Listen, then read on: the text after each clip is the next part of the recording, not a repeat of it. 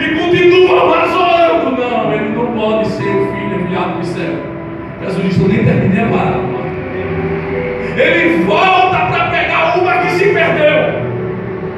Todo pastor da época andava com cajado e na ponta do seu cajado havia uma curva. Porque quando a ovelha começava a se dispersar, ele ia, encaixava no pescoço da ovelha puxava bruscamente, para que a ovelha entendesse que ela não podia sair do meio das outras. Então, o que os judeus estão esperando é essa ação do pastor, é essa ação deste homem, de encontrar a ovelha, encaixar ela no cajado e sair puxando. Quem mandou você sair? Você tem que ficar com o só que Jesus ia, encontrou.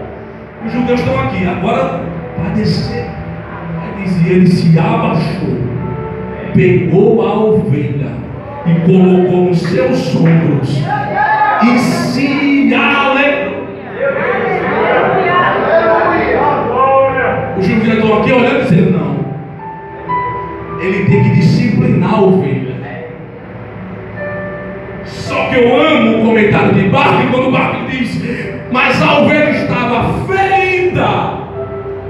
E se o pastor encaixa o cajado e puxa, acaba de matar. E o pastor sabe disso e diz: melhor do que disciplinar é colocar nos ombros, colocar remédio e levar de volta.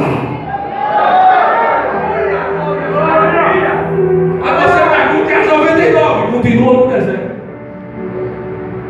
porque ele sabia que é mais fácil encontrar uma que se perde do que 99. É mais fácil encontrar 99 do que uma. E ele também entende que se as 99 continuarem juntas no deserto, para onde uma puxar, as outras 98 vai atrás. Percebe a lógica da parábola de Jesus? Ele não vai a risco nenhum. Ele lança 99 porque ele entende: se uma for para a esquerda, todas vão para a esquerda. Se uma for para a direita, todas vão para a direita. Então é melhor achar 99. Eles estão escandalizados com Jesus. Só que Jesus é confrontador demais.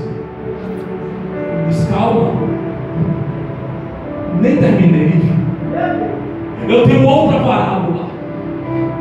Uma tinha dez lágrimas. E eles estão atentos ouvindo tudo que Jesus está falando. Perdeu uma, eles dizem, não pode.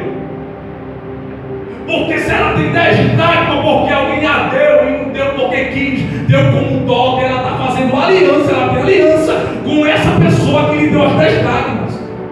E a lágrima era usada no pulso para quando ela andasse na rua, quem olhasse ela diziam, ela tem aliança com alguém. Alguém comprou. Eu vejo os valores na testa ou no pulso. Só que se ela perde uma, automaticamente a aliança é quebrada. Ela sabe tanto disso que a Bíblia diz que Jesus continua na parábola